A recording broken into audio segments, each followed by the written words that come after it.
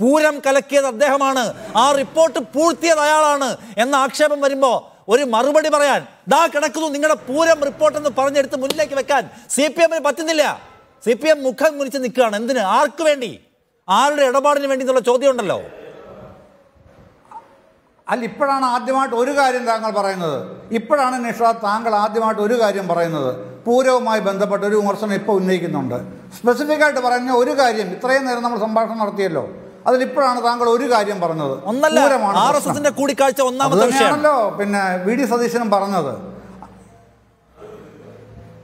ആ, അതെ. താങ്കൾ ഇപ്പോഴാണ് ഒരു കാര്യം പറഞ്ഞതെന്ന് പറയുകയാണ്. പിൻ പോയിന്റ് ചെയ്തൊരു കാര്യം പറഞ്ഞാലേ മറുപടി പറയാൻ പറ്റൂ. കൊട്ടത്താപ്പിനെ ജനറലൈസ് ചെയ്ത് പറഞ്ഞാൽ എനിക്ക് വല്ലതും പറയാൻ കഴിയും. ആർക്കും പറയാൻ കഴിയില്ല. അതാണ് ഞാൻ ചോദിച്ചത്.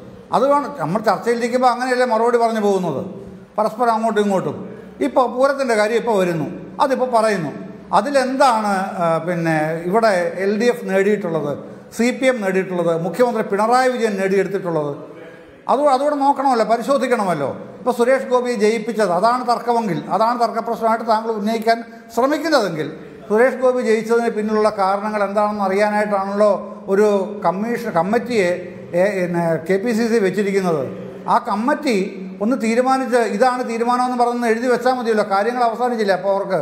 പെട്ടെന്ന് വിവരം കാര്യങ്ങൾ പിടി മുരളീധരന്റെ പരാജയ കാരണം എന്താണെന്നുള്ളത് അല്ല അത് നിങ്ങൾ ഈ- കെ പി സി ഇത് സിക്കാരോട് മാത്രമാണ്. തർക്കിക്കുമ്പോ അപ്പുറത്ത് വി ആർ പോയാൽ അനു മതി. ഇരിപ്പുണ്ട് പക്ഷേ അനുപോയിട്ട് തർക്കിക്കുമ്പോൾ താങ്കൾക്ക് ആ പോയിന്റ് പറയാം. ഞാൻ ചോദിക്കുന്നത് അതല്ല. പൂരം കലക്കിയത് ആരാണെന്ന് അന്വേഷിച്ച റിപ്പോർട്ട് എവിടെ എന്ന ചോദ്യത്തിന് ഉത്തരവില്ല. ചോദിക്കുന്നത് ആരാ? മാധ്യമങ്ങളല്ല. അല്ലെങ്കിൽ കോൺഗ്രസ്സുകാരല്ല. അവിടെ പരാജയപ്പെട്ട മനുഷ്യൻ തോൽപ്പിക്കപ്പെട്ട മനുഷ്യൻ അയാളാ ചോദിക്കുന്നത് എവിടെ ഈ പൂരം റിപ്പോർട്ടെന്ന്? അയാൾ അവിടുത്തെ അസാധാരണമായ എപ്പിസോഡുകളുടെ ഒരു ഘോഷയാത്രയെക്കുറിച്ച് സംസാരിക്കുകയാണ്.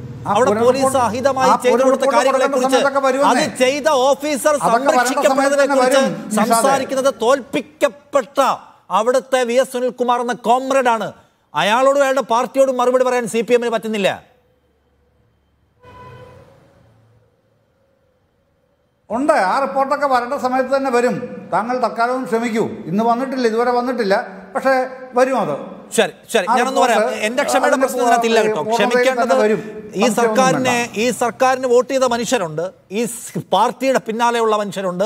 ഈ പാർട്ടിക്ക് വേണ്ടി സഹിച്ചവരൊക്കെ ഉണ്ട്. അവർ കൂടി ക്ഷമയുണ്ടാവട്ടെ എന്നേ ഉള്ളൂ. കോൺഗ്രസിന്റെ പ്രതിനിധി അഡ്വക്കേറ്റ് വി ആർ അനൂപ് കൂടി നമ്മോടൊപ്പം വി ആർ അനൂപ് ഇന്നിപ്പോ പാർട്ടി സെക്രട്ടറി പറയുന്നത് കേൾക്കൂ. സി പി എമ്മിനെ ഇതിനകത്ത് കൂട്ടിക്കെട്ടേണ്ട കാര്യമില്ല എന്നാണ് അദ്ദേഹം പറയുന്നത്. ഇത് T P Ramakrishnan L D F കമ്മീഷനും പറയുന്നത്.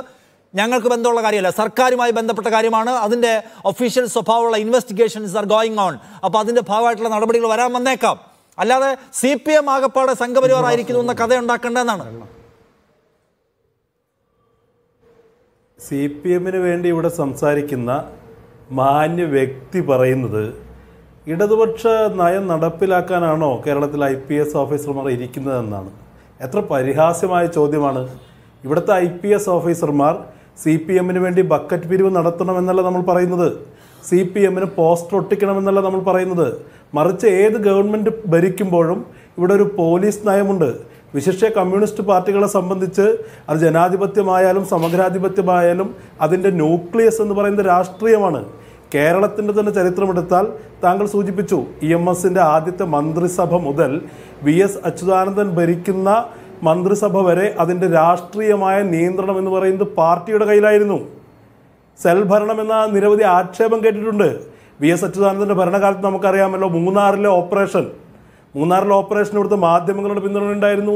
വൻതോതിൽ പൊതുജന അഭിപ്രായം ഉണ്ടായിരുന്നു. പക്ഷേ പാർട്ടി ആ ഓപ്പറേഷൻ നിർത്താൻ തീരുമാനിക്കുന്ന നിമിഷം മൂന്നാറിൽ വി എസ് അച്യുതാനന്ദനെ പോലെ ഒരു നേതാവിന് മുട്ടുമടക്കി ഓടേണ്ടി വന്നു. പക്ഷേ ഇന്ന് ആർ എസ് എസ് ചീഫിനെ സന്ദർശിച്ച അഡീഷണൽ ഡി ജി പി ഈ നിമിഷം വരെ ആ പദവിയിൽ തുടരുകയാണ്. അദ്ദേഹം ചോദിക്കുന്നത് എന്താ? എന്ത് ചെയ്യണമെന്നാണ്?